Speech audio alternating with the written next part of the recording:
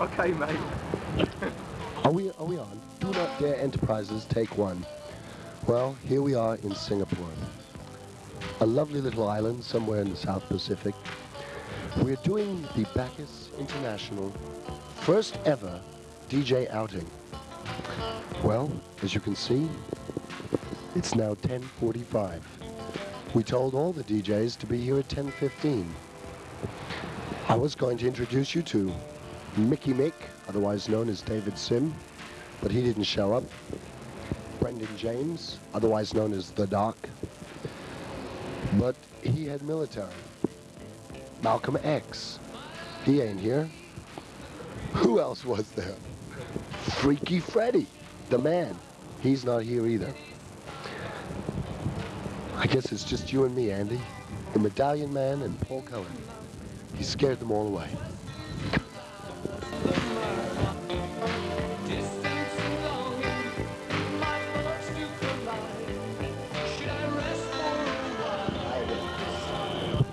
Well, as you can see, we're here on Sentosa. The inevitable tourist traps as soon as you get off the cable car. Hey, but we're intrepid travelers and we're getting used to it.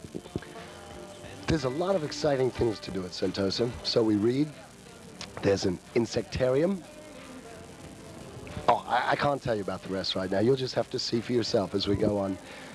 We are absolutely amazed, though, that not one of our disc jockeys turned up. Not one. Who cares? We're going to cut costs, and by gum, we're going to do it right. DJ air tickets are going up all the time, and I've only got small budgets. David Payne will tell you. The answer lies over here. The first in a fleet of possibly two. Bacchus DJs will fly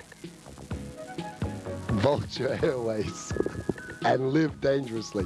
This is just for DJ travel, okay? That's all, just for DJ travel. Particularly awkward clients who shall remain nameless. This is my baby. For those quick getaways, this is the executive travel jet. It's not a Lear, but uh, budgets are budgets. And they came with the new offices, which are rather nice. What do you think?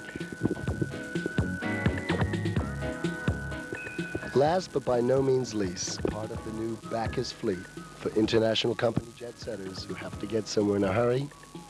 Richard Hallam is always moaning about excess baggage.